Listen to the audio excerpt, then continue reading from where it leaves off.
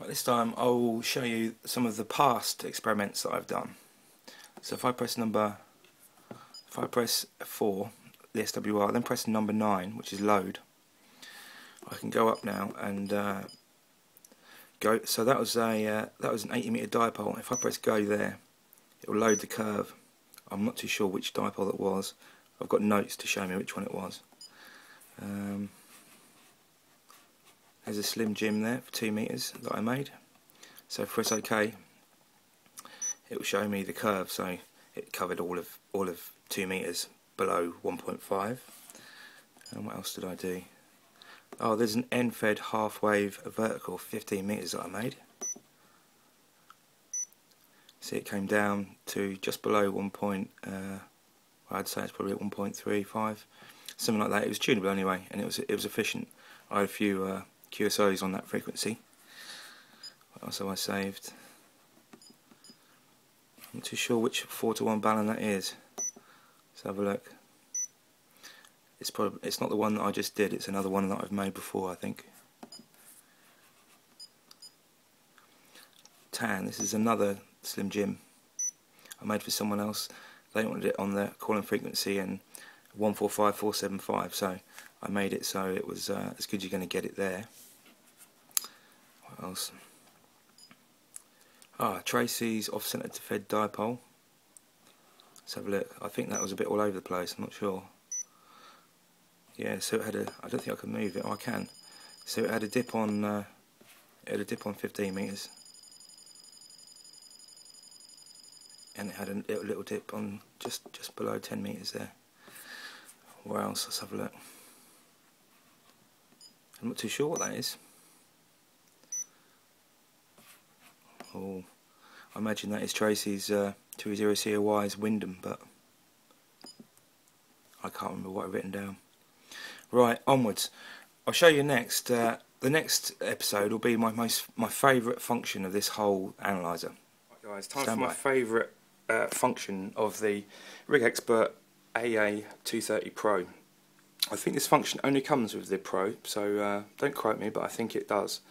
Um, you know when you're outside and say you've got a long line of coax and there's a distance between your antennas and your shack and you're adjusting something, you've just you've just made something like a maybe a cobweb or a dipole or a vertical or something like that, and you're just doing the fine tweaking, and you're having to go inside the shack to have a look and come out because you can't uh, you haven't got an analyzer and the only way you can see it is in the shack, yeah.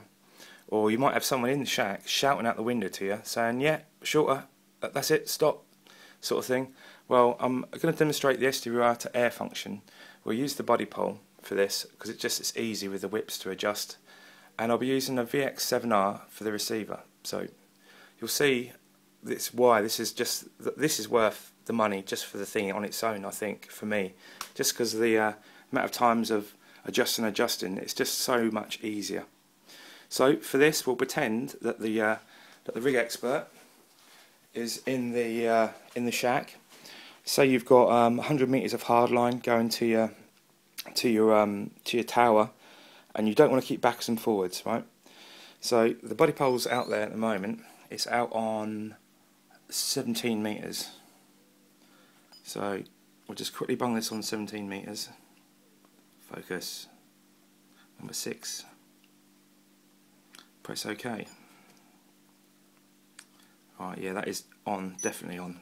Let me turn this up so we've got more than 50 kilohertz. There you go, there's the whole of uh, Struth. That's a good fluke. Let me turn up a bit so you can get more of a picture. So there's the SWR basically on um, on 17 meters on the Buddipole. I'll demonstrate now. We'll turn on the SWR, SWR to air function. We'll go to um, uh, show SWR it's 1.07 at the moment on that frequency. What we'll try and do is we'll try and well uh, we'll try and make it go up to say something like I don't think it's going to make much difference to be honest. The Buddipole was so wide banded on this frequency. Right, well I'll start the SWR to air function off in here and uh, you'll see what happens on my receiver. So we're listening for the fast beeps. to initiate it, you have to hold down F and press OK. And as you push it, the little tiny um, thing starts flashing up there. Right, let's go and have a look.